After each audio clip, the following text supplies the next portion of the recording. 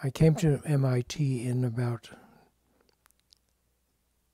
1958 or 9 and started teaching in the math department and accumulating these students working on ideas about artificial intelligence. And at that time, the capabilities of what we call AI systems, artificial intelligence systems, were pretty limited. And uh, we were working on, most people were working on pedestrian problems like can you build a program that will scan a picture? Uh, most computers didn't even have a scanner at the time, so we, in fact, had to build those optical scanners or use facsimile machines or something like that. And could you build a machine that would recognize a handwritten word like and and friend and computer? So a number of people were working on just transcribing hand printed text. That wasn't so hard. Handwritten text was harder.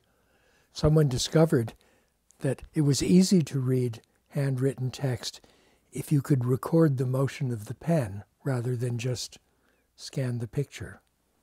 There are a couple of MIT professors who noticed that if you looked at the velocity changes of the pen, it was very comparatively easy to distinguish an M from an N and an O from a U just by the looking at the speed at which the pen was moving.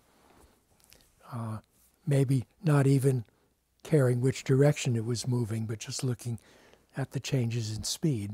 Each letter would have a different profile. So uh, there were all sorts of strange little discoveries like that. But uh, for many years, uh, in fact, to this day, uh, we don't have systems that can read handwriting very well.